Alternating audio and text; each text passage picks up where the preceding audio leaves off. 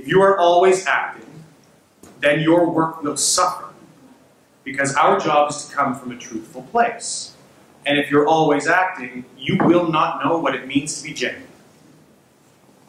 Right? And our job is to be genuine. To live truthfully as an artist, we must first live truthfully as human beings. And in order to appreciate and be sensitive to that full spectrum of the human condition, this is achieved more by listening, observing, receiving, rather than leading, presenting, and performing.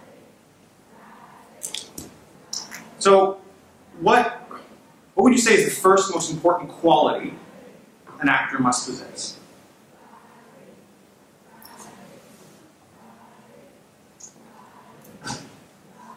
Yeah. Groundedness. Nice. The ability to listen. Take that further. How would you describe what, what is the what is the ability to listen? I think it's not not just hearing. It's it's processing the information that has been given to you so that you can not regurgitate it, but apply it, apply with your own words. So I would even say, I would say it's the ability to receive. Easily, easily adaptable, but being able to change with new ideas and concepts. Teamwork. Nice. I think the passion and drive to do it in the first place as well. Okay. Yeah. Empathy. Great. Those are all essential qualities. There's no question. I could have kept going, and I don't know if I eventually, and some of these things are definitions or similar definitions. I wonder if anyone would have ever got to the point of saying that you need to have confidence. I know that sounds simplistic, and some of what we're going to talk about today is actually mining the depth of language so that it's not, yeah, we all sort of can say, okay, on the surface level, I know what confidence means. So I'm not going to ask you to sort of say, how would you define confidence? What is confidence? Yeah. An assurity in yourself that no matter what happens, it's going to be all right. Nice, very nice. Anyone have an alternate? Um, the acceptance of all the qualities that you possess, whether they be positive or negative, you just accept who you are. Very nice. So I would take all of that, and I would say that confidence is not a strong enough word, and every now and then I'm going to go, let's go deeper, right? Um, and we'll later talk about what's a primary versus a secondary, and I would say confidence is a secondary word. Doesn't really activate our emotional system. It's not a get out of bed in the morning kind of word, right? And we have different emotional connections to language.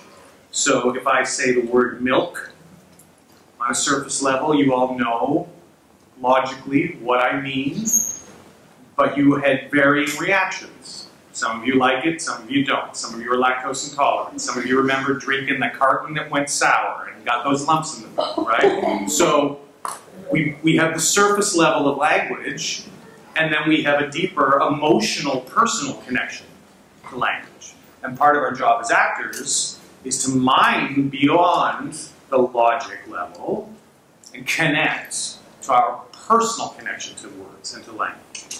So I would, my definition for confidence would be finding the state of being of I am worthy.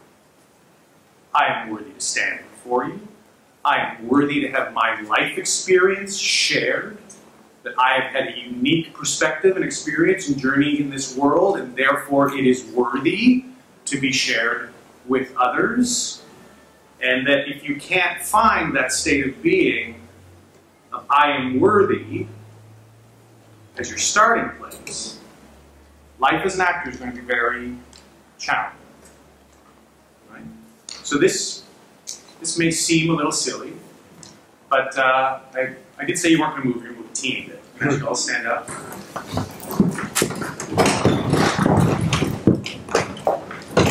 Just get it into your bodies. I want you to repeat after me. I am worthy to be here.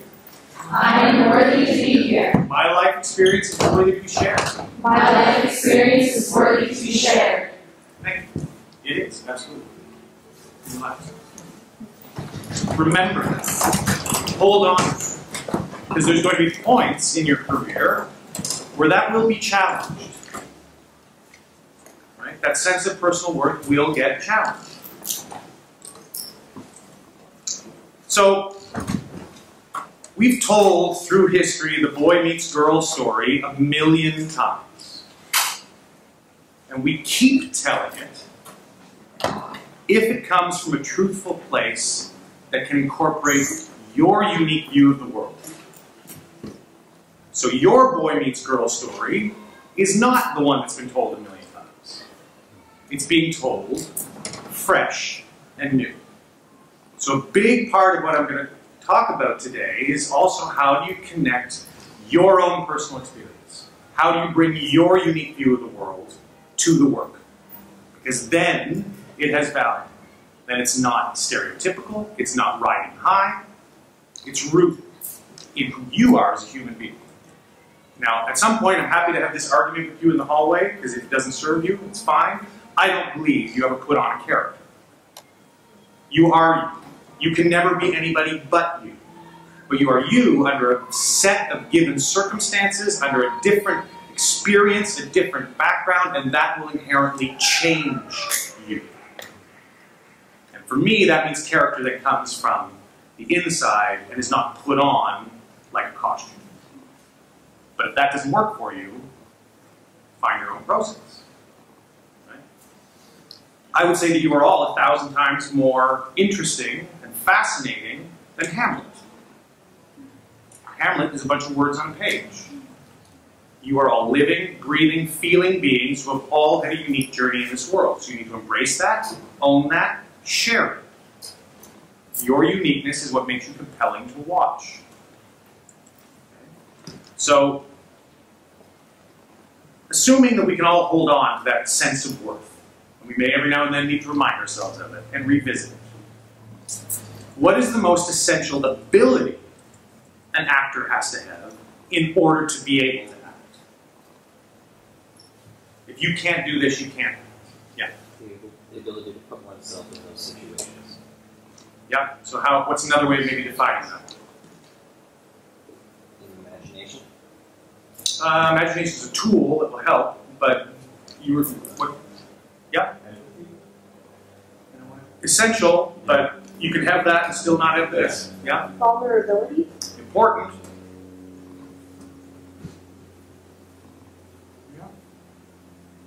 A specific word for what I was saying? Yeah, I'm just asking you to take what you were saying and maybe redefine it. So it's the ability to live in the moment, the ability to find present tense. You can have different language around it, but it means the same thing. If you cannot live in the moment, accept it, the given circumstances as real, receive in the moment, you cannot act.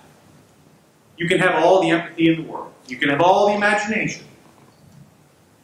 You need that.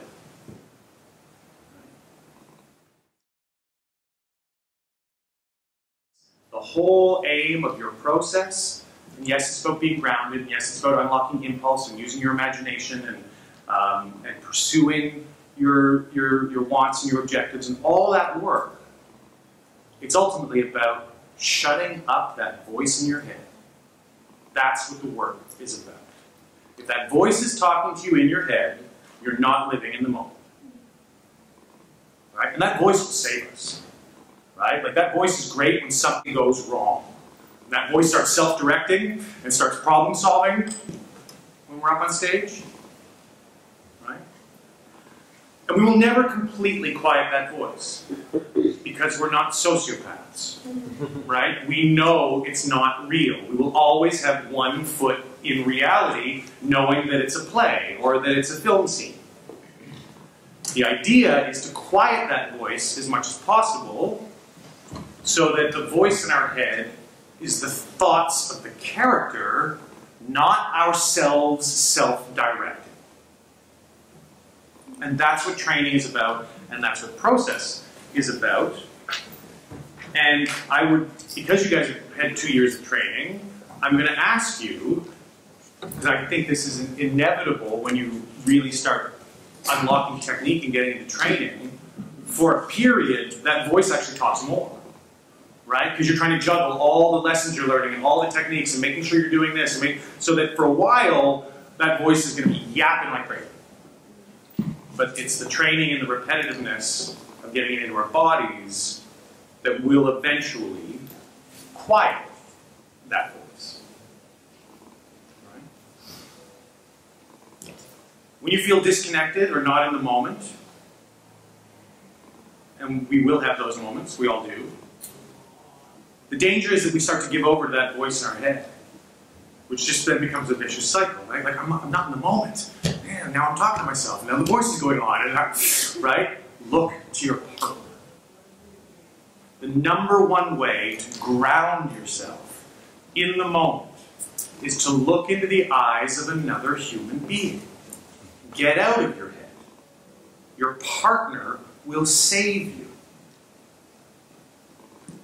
Now, as I've already alluded to, acting theory uses a lot of different terminologies. I'm probably going to introduce you to some new language today that may be different than some of the language you've used or have heard. Can use that or not. I don't think it's contradictory. Um, I think the ultimate aim of all this work, another way to look at what is process, is, is quieting that voice, but it's ultimately what is your system for unlocking impulse? To free your impulses. Right? And people are different. Right? You're all different. So some of you are visual, some of you are audio, some of you are kinetic. I used to think I was visual. So I would often do build a lot of visual imagery in my head, use a lot of images. And then I realized through my training and my work that I'm actually kinetic, that I get electrical impulses in my body. And if I wait for the image, I've let that impulse go by. And so you've already probably witnessed this with each other, and I encourage you to look for it.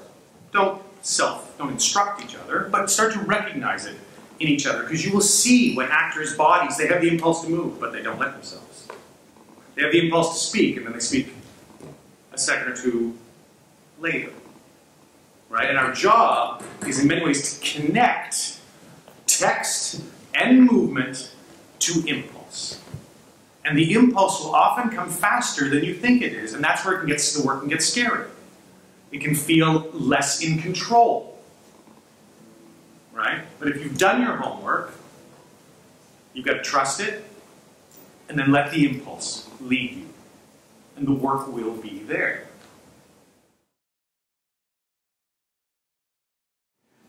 There are two basic schools of acting theory. Does anybody know what those two schools are? They both come from Russia. Yeah? So Stanislavski was the father of one of them. Chekhov was, and Meyerhold and some were part, in many ways, of the other. That's Michael Chekhov, not Anton. Um, so it's inside out versus outside in. Right? So Stanislavski, which then his followers developed the method, followed an inside out approach. That drawing on your sense memory, drawing on your personal experience, drawing on your own emotional system, all of this stuff that's inside of you gets drawn on and brought to the surface. And it comes from the inside out. I think in some ways we judge in North America the outside in as false or fabricated. I certainly did to some degree before I went and studied in Russia. And I would argue that as you're refining and developing and learning your own personal process, that the modern contemporary actor actually uses techniques of both. Right? And that can be as simple as allowing some kind of rage to bubble up inside of you, or using a gesture to generate the same feeling. Right? Both systems are designed as to unlock impulse. That's all they were ever intended to do. And some seem to think sometimes that the outside in approach is like, oh, I'm putting on something fabricated. The true method is the internal one. They're both just different approaches to impulse. Like what you did there, it just seemed like with this the gesture, it just seemed like you were accelerating what you were already doing. It may have, yeah. Yeah, and I'm not, and I was probably doing a little bit of, there was subtle gestures in the first thing, mm-hmm. and larger gestures. So in both cases, both systems were, were kind of happening? Um, so part of your work is to learn to trust your impulses, know where they come from, and know that they will probably work faster than your brain. And if your brain is constantly trying to drive the ship, you're going to be a few beats behind.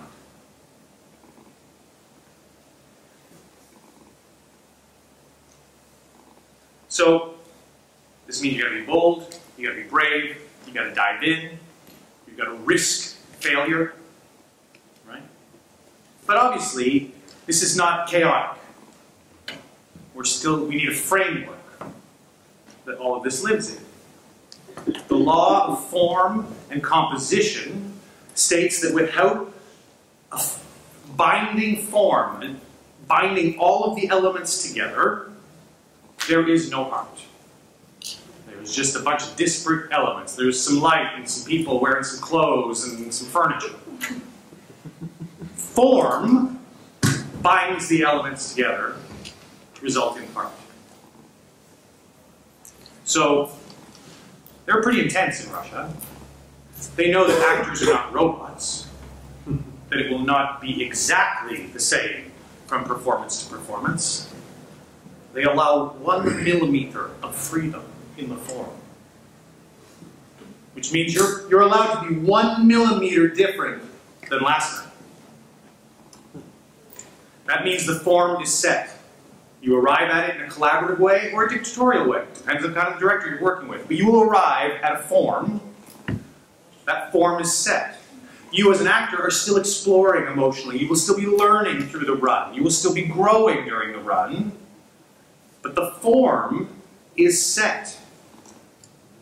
You may have some actors go, directors go, oh, try a bunch of different stuff once I'm gone. I don't care. You won't probably encounter very many of those.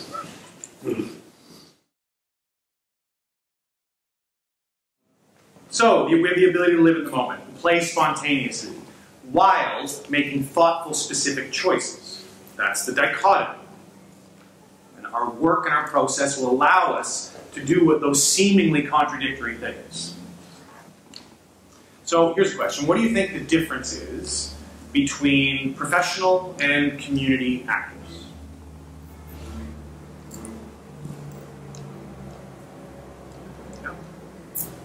Just like where they're performing, like you can have a really great actor in a community show, just like you can have an actor who's just Tangen. tanking in a professional show. It's just where the, the theater you're with. Um, so I, I absolutely 100% agree. You can have some very, very good community and emerging theater, and you can find some terrible professional theater. Um, uh, let's bring it back to process. We're talking about process. So what's the difference in process? Yeah.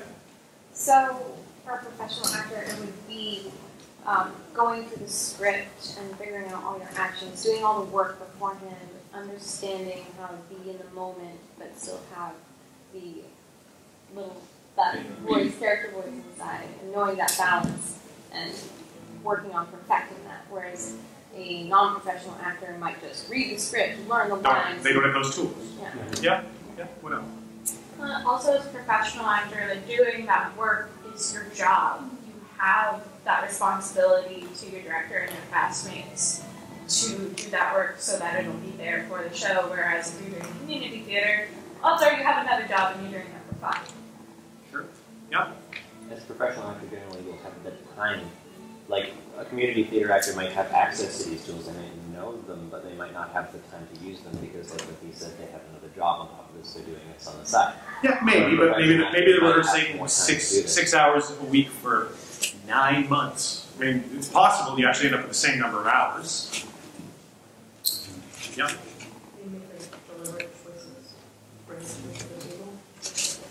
Uh, yeah.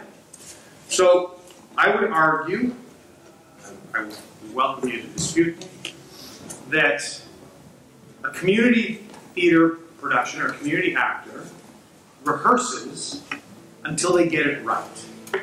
Right? They're rehearsing it. Oh yeah, that was awesome. That's great. We nailed it. Let's move on. Your job is to rehearse until you can't get it wrong.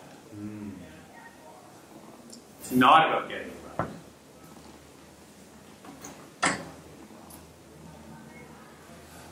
And uh, that's to say, you know, stuff happens, right? Things, you know. I was doing an outdoor show once during Romeo and Juliet, and the baguette that we taunted Tybalt with got broken in half, and it stayed, didn't get cleared, and it stayed on stage. And when Juliet was weeping and wailing with the nurse, a giant raccoon just walked out, picked up that piece of clay, took it down, walked off, right? Stuff's gonna happen. Out of your control, like, like everything in your control. Everything in your control. Yeah. Absolutely. So we have a sense of that worth. Okay? And we're going to say that our passion and our commitment to pursuing this art and our respect for our partners grants us this ability to live in the moment. So then what's next? Where do we start our work? How do we begin to work on a scene? It's helpful.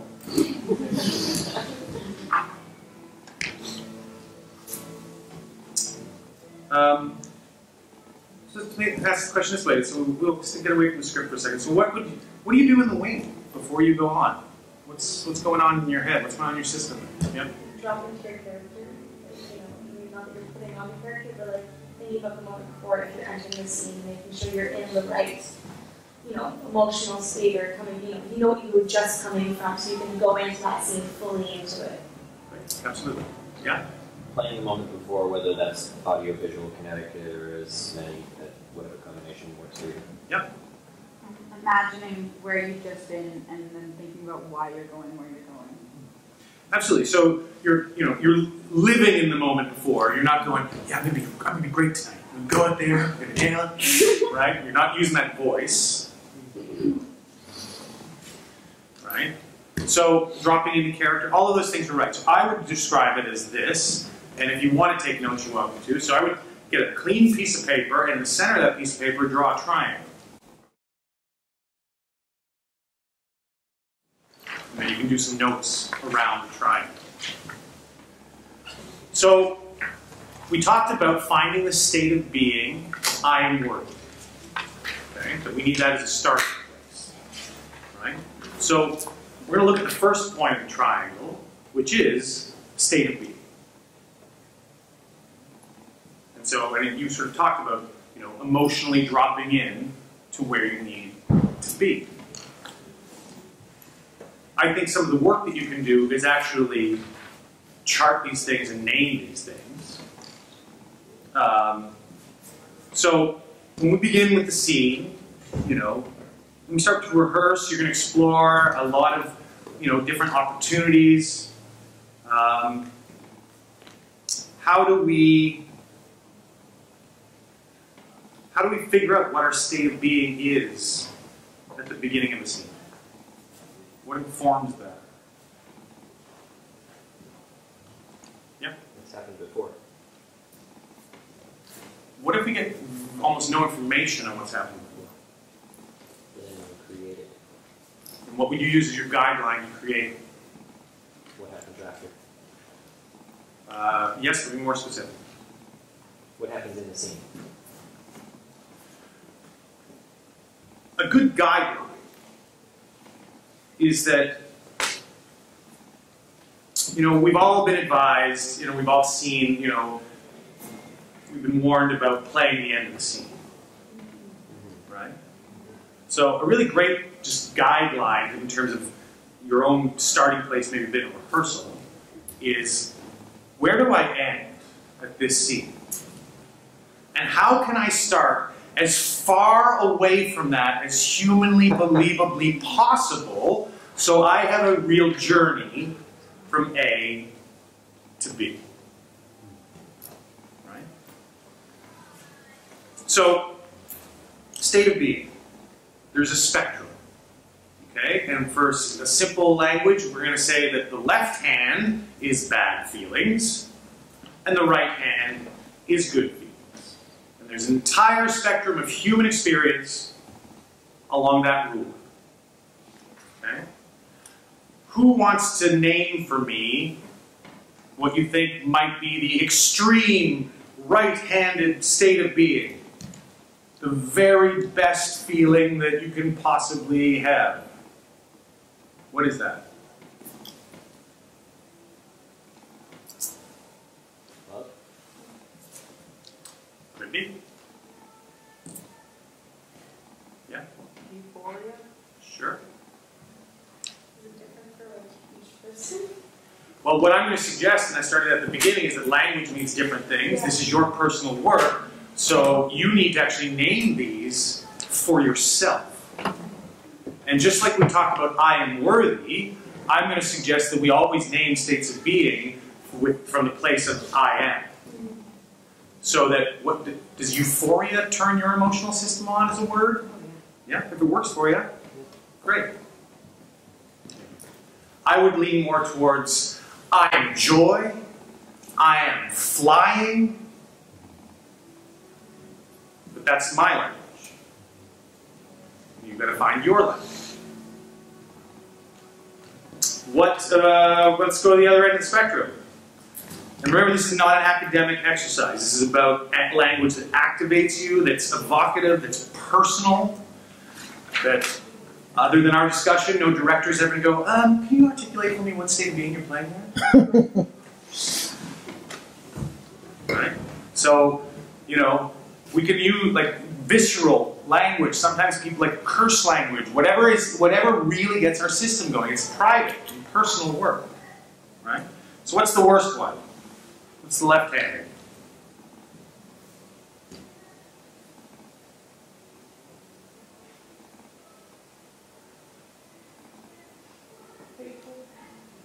So how would you phrase it then? I am hateful? Not bad? Yeah, I am unworthy. nice. What? Bad in what sense?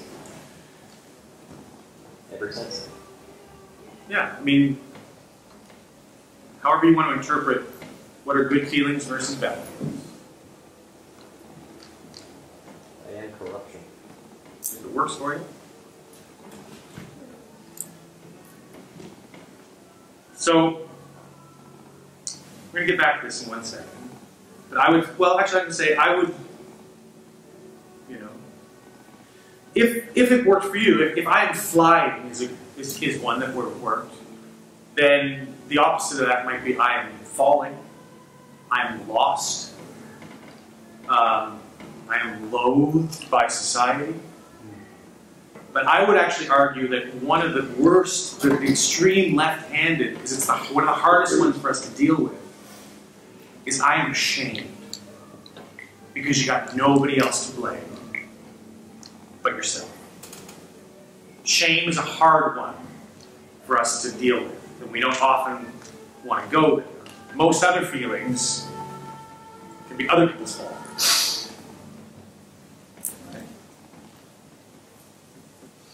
You know, and the funny thing is, is as human beings, we actually get pulled to the left side naturally, psychology. Right? We all say we want to be happy, but we have a tendency to get pulled to the left. So if you ever think about a time when you got amazing news and you were so excited and everything was amazing, and then you started to worry that that feeling is going to go away, and you were starting to roll over into the left, that you find we find it hard to sit in the right. That's just good information to think about with Carol. Right? Because as human beings, we protect ourselves. And that's a bit of what we're moving towards. Who in the world lives in pure primary states of being? Yeah. Children. Absolutely. Children. You will experience almost every feeling there is in a pretty raw, visceral way by the time you are nine years old.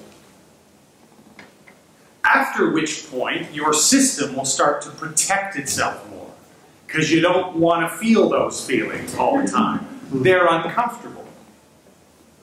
Right? So, this is where I get into the distinction of primary versus secondary. Why do we go to the theater? Why do we watch movies? Be distracted. Distracted? Okay. Escapism. Escapism? We're gonna, we're gonna, we're gonna assume entertainment's in there somewhere. Yeah. Yeah. All of those are true. But I would say, once again, let's look deeper. So, what is escapism? What is being distracted? Um, I would argue that civilians, unlike us, That's at least. go to the theater to watch us experience the feelings they are not prepared to have themselves. Which means our job is to find the primary, not the secondary, not the safe, comfortable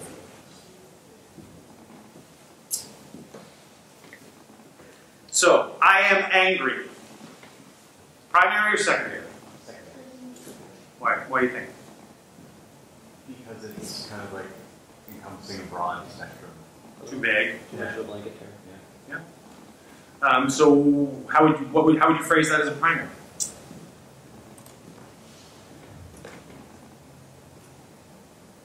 Infuriated, that's also kind of a vague, but more specific than angry. It's stronger. Yeah. I am rage. Stronger again. I would argue they're still all secondary Yeah. because anger comes from somewhere. Rage comes from somewhere. Where does those feelings come from? Being hurt. So I'm I'm terrified. I'm lost. I am alone. I am betrayed. Mm-hmm. Those are the primaries. We don't like to deal with I'm betrayed, so I'm going to roll over into being pissed off. Right? That's how we as human beings deal with emotion. So the primary is more like the cause of the more, for lack of a better word, mainstream emotion. Yeah. It's the one. It's it's the tr- it's the it's the root of where the feeling comes from. But we have over our lives developed a more comfortable place to sit in and roll over in. And the problem is, is that secondaries can still like you know I am rage, I am anger, like they can still be compelling to watch, but maybe a little bit generic, maybe not as interesting and as truthful as it could be in terms of mining the depth of a scene.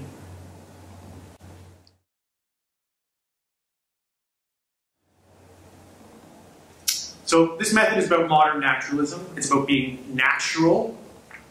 Uh, it's not about being real. Realism was a period in the late Victorian era where they tried to make everything real. They didn't Midsummer Night's Dream, so there'd be real bunnies on stage and real trees. And, right? So this is naturalism. Because it's not real. But please don't ever confuse natural with casual. And that's a big danger that I often see.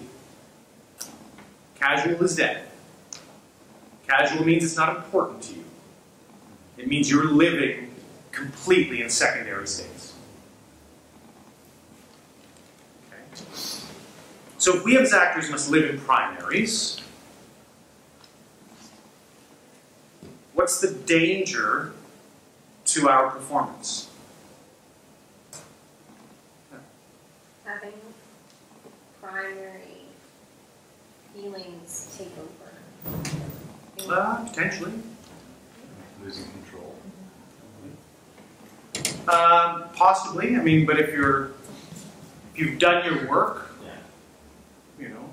But it's not to say that you aren't going to every now and then go to a deeper place than you imagined. But if the only people who live in primaries all the time are children, and we as actors live in primaries on stage, what's the danger to our performance? It can age us down. It can make us immature. So then how do we solve that? Oh, screw it, we'll just live in secondaries. So primary states of being can be divided into two categories. Pure and vibrating. Pure and vibrating. So the pure one, I think, doesn't need much definition, much articulation. It's a raw, visceral experience that we would see when, when a child has a temper tantrum. We don't have many of them in our lives, but we will still occasionally, right? Our characters will have those pure, unadulterated, visceral emotional states. When that's not appropriate, that's when you want to get into a vibration. And I'll just do a very, very simple demonstration. So I'm nine years old, and I see a great park and a swing set, and I am pure, I see I love. Absolutely pure, I see I love, nothing else matters in the world. Right? And then, like a year or two later, now going to middle school, and I see that park, it's like, I see I love, but, you know, I'm too cool for that now. Right? And that's an internal vibration, that's the push-pull. I want this, but I can't have it or I shouldn't have it. And then before you've opened your mouth, before you've interacted with your partner, there is tension happening inside you. There is conflict. What would some people say is the definition of drama? Conflict. You are already compelled. You're already interested. Because internally, something's going on. As an audience, we may not know what it is yet, but we know something's going on in that head.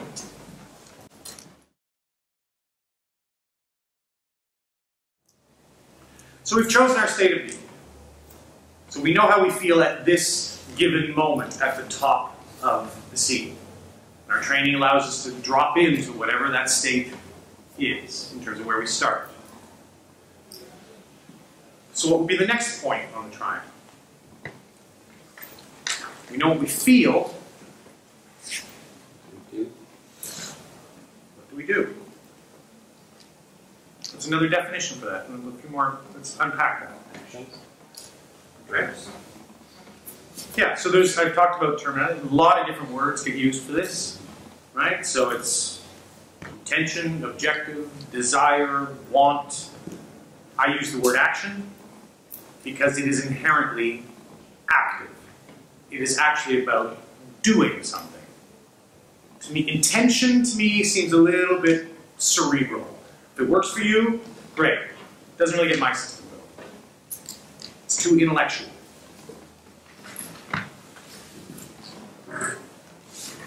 It's, not an internal idea, it's about being active. So I actually find that one of the hardest things for actors to do is to describe or name what their action is. You know, and I think can easily get, they can often get heady and internal about it.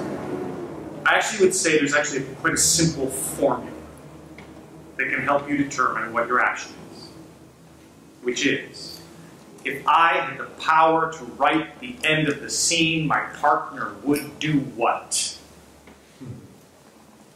You're scripted one way or another. You don't have control over that.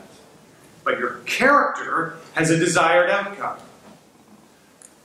So if your desired outcome is that your partner is down on their knees begging you for forgiveness, you know what your action is. You might be the one who's blubbering at the end of the scene but we're not playing the end You know, would they throw their arms around you and express their love? Right? Get it out of yourself. Our job is to affect each other, affect our partners. We have to make our action about our partner. Now, obviously, as I just said, it's essential that we don't play the end of the scene at the beginning. We may know where it's all headed, but your character doesn't, and we certainly don't want the audience to. At its core, acting is about surprise. Right? We start to lose an audience when they know where it's going, when they can anticipate what's going to happen next. I saw an interview with an actor who once who was playing Hamlet, um, and I thought he articulated it actually really, really well. Because Hamlet is scripted to lose. He dies, doesn't get what he wants, accidentally kills his mother, doesn't avenge the father's murder by his uncle the way he wants. And so the actor was asked in the interview, how does he handle going out there night after night and always losing everything that he holds dear in the world? And you know what he said? Maybe tonight I'll win.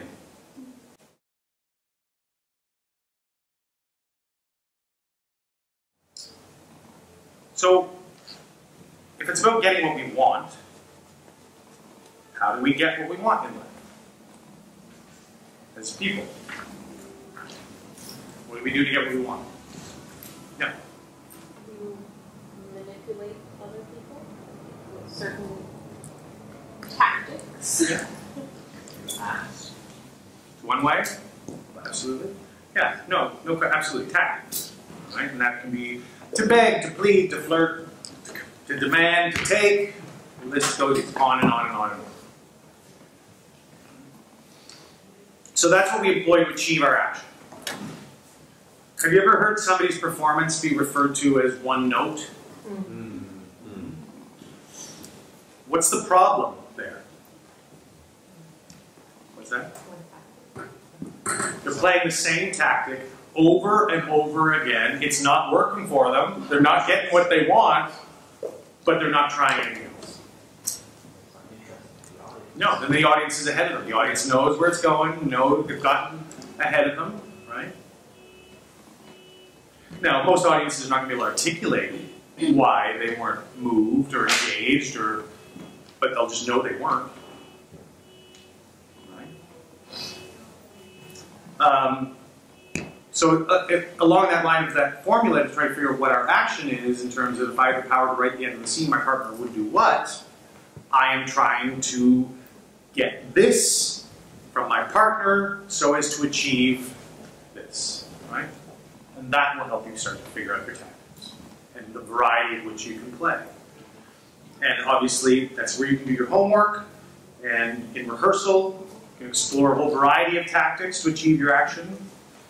Um, this is this is really important because while doing your personal work is essential, there is a danger. And that doesn't mean you don't do your work, but it means you be aware of the danger. And have we ever heard of like that guy, that person was acting in a bubble? So what does acting in a bubble mean? Yeah. You're not really giving your partner the attention. Like you're not playing off of what they're giving you. You're kind of just doing your own thing in your head. Yeah. So it's you're not receiving. Yeah. Right? So that might be somebody who's just really into themselves and terrible at receiving. Or it's possible that it's somebody that did so much homework, they pre planned their performance devoid of their partner. Right?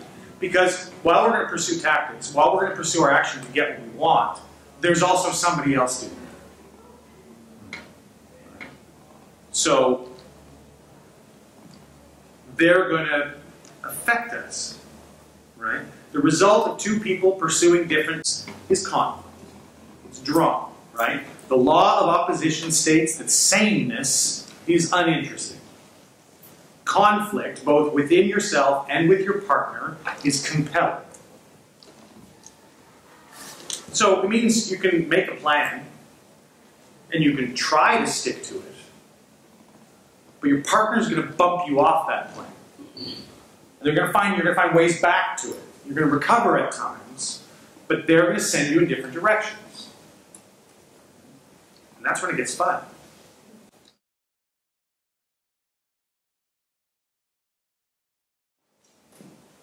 So, if two points of the triangle are state of being and action, uh, what's the third point on the triangle? We know what we feel. We know what we want or what we're going to do. What's missing?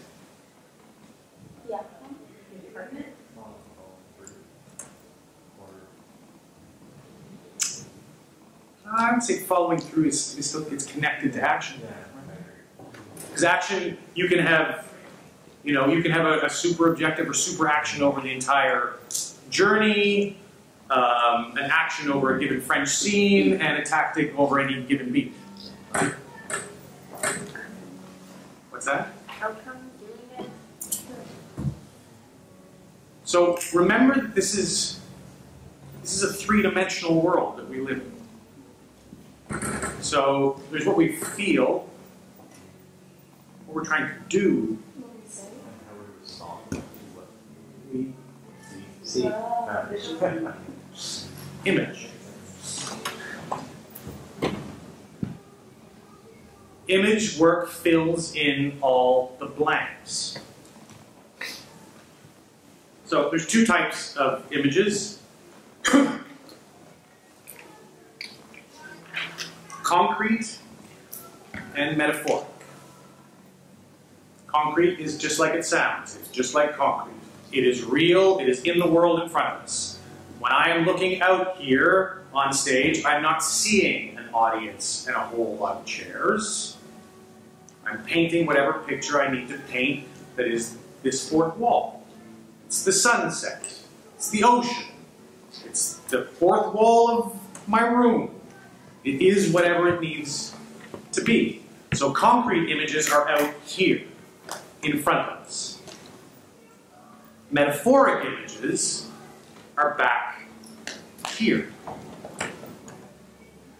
What do you think I mean by that? Memory. Memories, dreams. You know, you're on the phone sometimes, or you sometimes imagining what the person looks like on the other side of the line, or whatever, all that stuff. The imagery in our head. Yeah.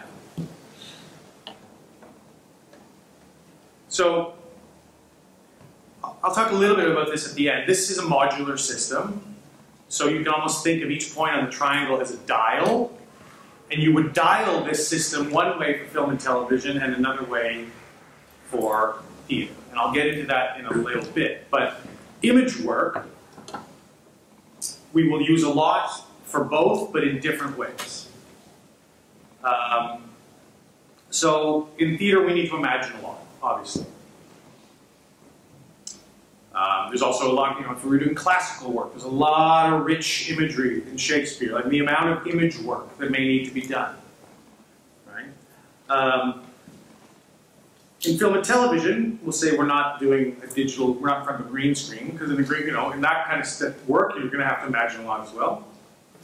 But you're on set. You know, you're shooting a scene in a bar, you're on set, you're in a bar, they've got the whole bar there. But you need to imagine a way the camera that's here, and the boom operator, and the entire crew. So image work is about seeing what the character sees, and you as an actor do not. Or not seeing what you see, and the character doesn't. Does that make sense? So it's either imagining what you need to imagine or imagining away what shouldn't be there. The internet is a great resource for this kind of work. Jacques and I first started, we had used magazines and encyclopedias. Right? Um, so you can obviously use your own imagination. Some of you might have other artistic inclinations and you can draw some of this stuff, you can paint it, you can create collages. But I would, I would suggest that for some of it, it you actually make it. You actually see it. That it's not all just I'm going to imagine this, unless you're going to take the time to imagine it in tremendous detail. Um, and I would even sometimes revisit the image work because, you know, just like your emotional states of being, naming this stuff for yourself in a way that's really evocative and gets your system going, it's eventually going to wear off, right? Like that memory doesn't have the power over me it did three years ago. I need to find another thing to draw. That image doesn't quite move me like it once did.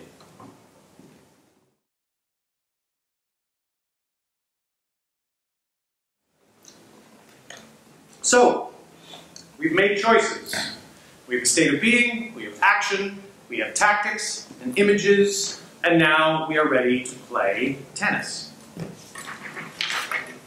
And that's really how I look at it. There's a ball of energy. There's only a few moments where somebody actually has the power to serve that ball. Which we call the volitional beat. Right? It's usually the first person who speaks, but not always. If I was to like just come over here and smack you across the face, and you were like, "Hey, dude, why'd you do that?" I had the volitional beat. I had the power to serve that scene, even though I didn't say the first line. But often it's whoever speaks the first line.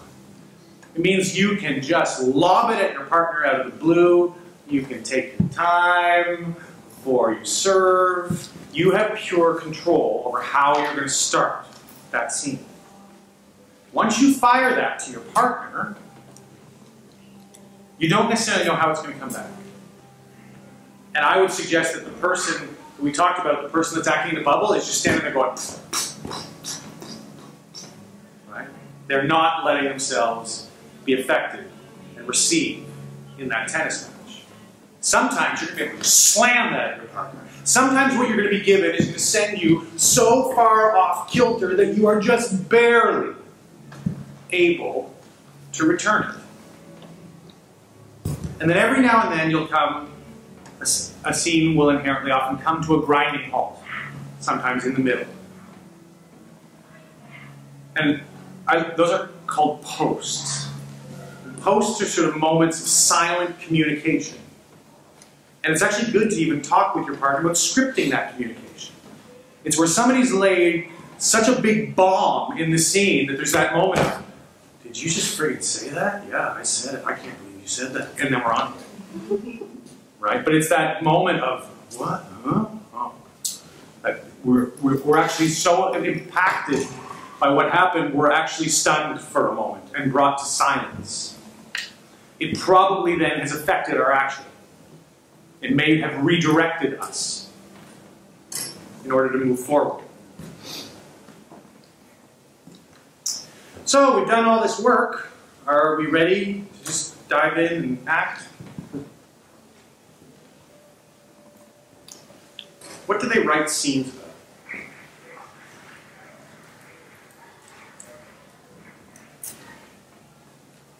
Would they write a scene about the 27th day? Maybe. Then is, is the 27th date really bad? Maybe. Why? So if it's bad, how? Maybe it's the one where they decide to not date anymore. So if it was the one where they broke up, is it the 27th date? Or is it the, the last? It can be both. It wouldn't have the same impact. What would be another reason they might do a scene about the 27th date? Well, we get married. Proposal. Um, find out that they're pregnant. Could be good or bad. It's either the beginning of something new or it's the end of the relationship. Which means it is a first, a last, or an epiphany. Mm-hmm. That's what they write scenes about. We write scenes about the icons of life. Now, some of those are really obvious, right? Births, deaths, sweet 16, graduation, marriage, funerals. But those are all firsts, lasts, or epiphanies. And I would argue every scene is one of those things. And it might be different things for the different characters. Right? But this is once again when we go back to you bringing your own uniqueness to the work. If you can identify, oh, that scene is the last this, I have some personal experience with something like that. I have a better sense of what to bring to this scene. That helps you personalize the work.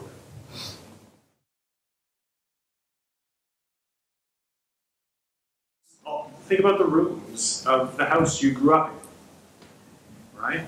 The feeling you had in your bedroom versus if you were in your parents' bedroom and you weren't supposed to, versus that family room den that was super comfy and versus that living room that you were never supposed to go into unless there was company, versus that terrifying attic or basement, right?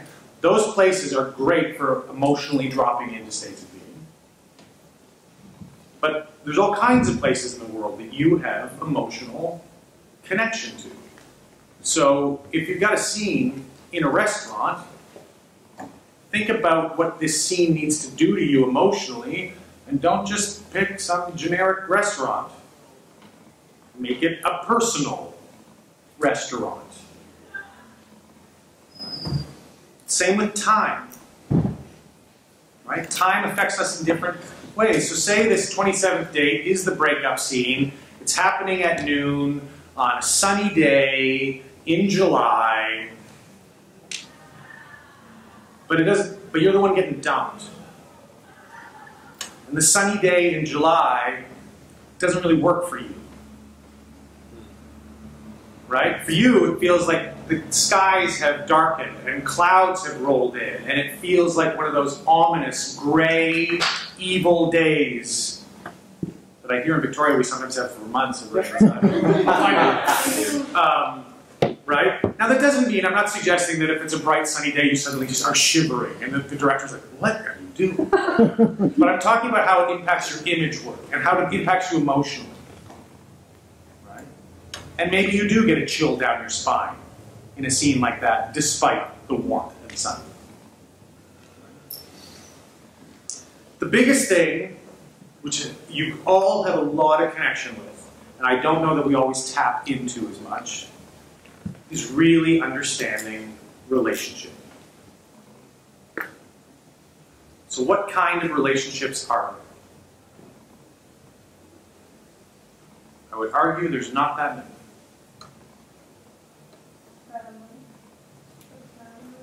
More specific? Parent to child. That's one.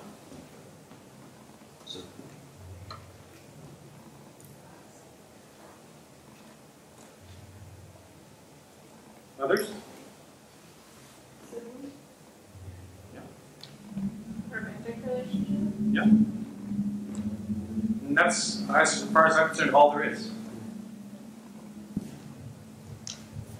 There is mother father. So you have mother son, mother daughter, father daughter, father son, brother brother, sister sister, sister brother, brother sister, lover love. Friends then fall into that? Do you not fight with your friends like siblings at sometimes and love them and like lovers? It's not to say that there's necessarily in- physical intimacy, Yeah. but we love our friends. And sometimes we. So think of a scene with one of your friends, and they're telling you how to. what you're doing wrong with your life. Right? So, how does that scene start? That scene's in parent child, mm. right? That's the relationship where that scene is started. And then maybe, you know, you regain some control and or tell them what's wrong with their life, so that relationship switches. Now you're in parent child. And then you find some kind of equilibrium at the end of that scene, and you're back to sibling sibling. Or you've really made up because you fought, and so you're in love. And I would say enemy, enemy is just a fine line on the other side of that. Have we ever had moments of enemy with our siblings? Yes, we absolutely have. Once again, you know a lot personally about all of or most of these relationships. Which means, once again, your unique personal view can be brought to the work.